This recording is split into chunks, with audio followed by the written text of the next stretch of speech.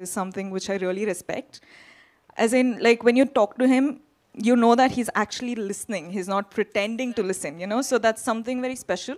तो दोस्तों साल 2023 तो शाहरुख खान के नाम ही रहा लेकिन अब देखना है कि 2024 में किंग खान की किस्मत के सितारे क्या कहते हैं ये तो सभी को पता है कि बीते साल एक्टर ने एक नहीं बल्कि तीन फ़िल्में हिट दी अब हाल ही में मीडिया रिपोर्ट्स के हवाले से खबर आ रही है कि शाहरुख खान करण जौहर संग अपनी अपकमिंग फ़िल्म की तैयारी कर रहे हैं हालाँकि अभी इस बात की पुष्टि नहीं हुई है लेकिन जूम रिपोर्ट के अनुसार कहा जा रहा है की एक बार फिर से करण संग किंग खान की जोड़ी कमाल दिखने वाली है। बेशक शाहरुख खान के लिए 2023 लकी साबित हुआ। लंबे साल बाद एक्टर ने हिट फ़िल्म से बड़े पर्दे पर वापसी की थी। लेकिन अब 2024 में किंग खान क्या कमाल दिखा पाते हैं, ये जानने के लिए फैंस बेसब्री से दिखाई दे रहे हैं। ऐसे में जूम की रिपोर्ट्स के मुताबिक, शाहरुख खान और करण जौहर को लेकर खबर आ रही है कि वो एक फ़िल्म के लिए बात कर रहे हैं। अगर ऐसा होता है तो ये जोड़ी चौदह साल बाद बड़े पर्दे पर एक साथ नज़र आएगी। जी हाँ क्योंकि किंग खान ने साल 2010 में करण जौहर की फ़िल्म माय नेम खान में काम किया था। अब इतने लंबे समय बाद दर्शकों को उनका साथ आना कितना पसंद आता है, ये तो फ़िल्म की कहानी पर निर्भर करता है। हालाँकि ऐसा नहीं है कि करण जौहर और शाहरुख खान ने इससे पहले काम नहीं किया हो। दोनों ने एक नहीं बल्कि कई फ़िल्मों में साथ काम किया है। इंडस्ट्री में Shahrukh Khan king of romance के नाम से भी जाने जाते हैं। ऐसे में शाहरुख खान ने करण जौहर की कुछ कुछ होता है माय नेम इज़ खान जैसी फ़िल्मों में साथ काम किया है। पहली फ़िल्म तो लोगों को आज भी इतनी पसंद आती है कि इसे एवरग्रीन फ़िल्मों की श्रेणी में रखा जा सकता है। वही बात करें डंकी की तो डंकी ने भारत समेत दुनिया भर में 400 करोड़ से ज़्यादा की कमाई की है। जानकारी फ़िल्म के निर्माताओं ने मंगलवार को दी। निर्माता रेड जिलीज एंटरटेनमेंट ने अपने आधिकारिक इंस्टाग्राम पेज पर मंगलवार को बॉक्स ऑफ़िस से जुड़ी यह जानकारी साझा की।